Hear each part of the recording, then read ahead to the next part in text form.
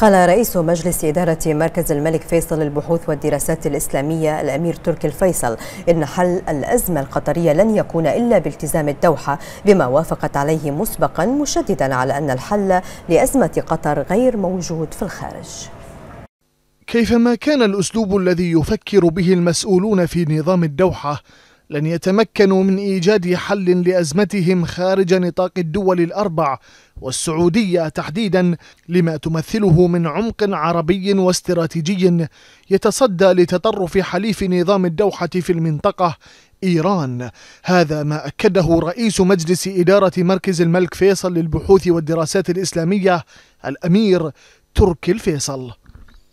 الدول الأربعة قالت لقطر إنه لا حل إلا من خلال الاتفاق على الشروط التي وضعت فيما اتفقت عليه قطر من السابق.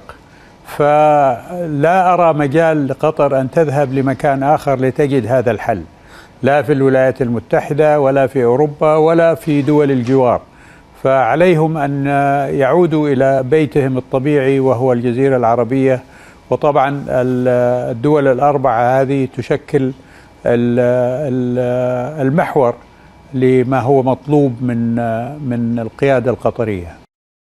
أن تصر قطر على بناء مشاريعها الخاصة داخل حدودها هو أمر يمكن التفكير به وتقبله، أما أن تصر على تحقيق مشاريع إرهابية تخدم مصالح إيران وتدعمها بمالها وإعلامها ذلك ما يضع الدوحة على حافة قد تنزلق منها في أي لحظة وتخسر ما تبقى لها من وجود لا يتعدى الجغرافيا في المنطقة هذا التعنت لا يخدم المصالح لا لقطر ولا لل, لل...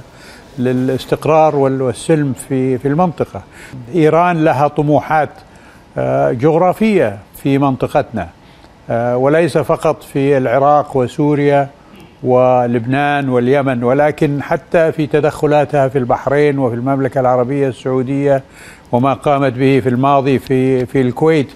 فالقيادة القطرية أعتقد أنها واعية لهذه التدخلات واستمرارها في دعم أمثلة حزب الله وغيرها من هذه البؤر الغير مفيدة من قبل إيران. آه، لا منطق وراه ولا ولا عقل ولا آه، صواب.